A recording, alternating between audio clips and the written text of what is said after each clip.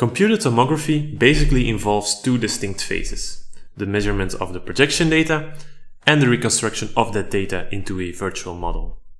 Now in reality, the scanned object is of course always a three-dimensional object and its projection data is a series of two-dimensional projection images.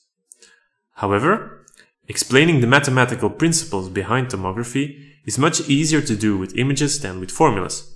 And drawing images is much easier to do for flat two-dimensional objects than it is for three-dimensional objects. So for the sake of clarity in what is to come, let's just flatten everything.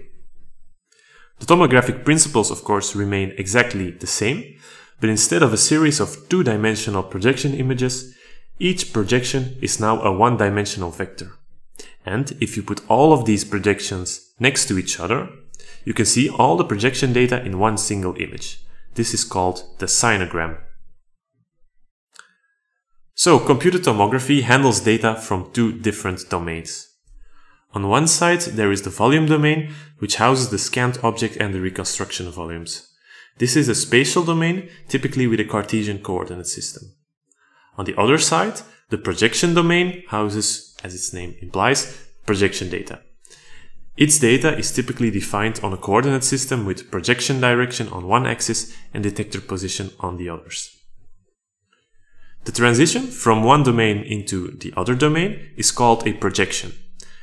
From the volume domain to the projection domain, it is called a forward projection.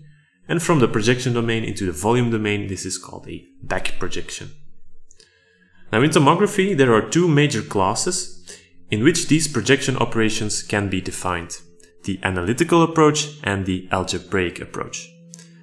In the analytical approach, a forward projection is defined as a series of line integrals over the function in the volume domain.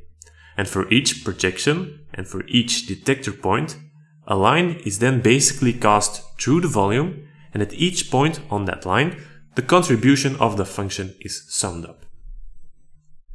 In the algebraic case, a forward projection is defined by a matrix vector multiplication, namely p equals w times v, where p is a vector representing all of the detectors on all of the projection angles, where v is a vector representing all of the pixels of the volume, and where the matrix W is called the projection matrix.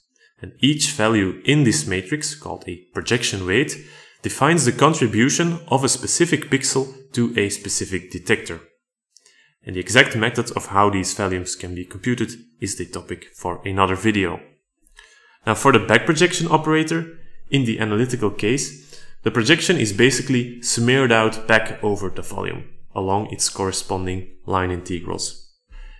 And in the algebraic case, back projection is defined by the multiplication of the transposed projection matrix, the same one that was used for the forward projection, with the vector of the projection data.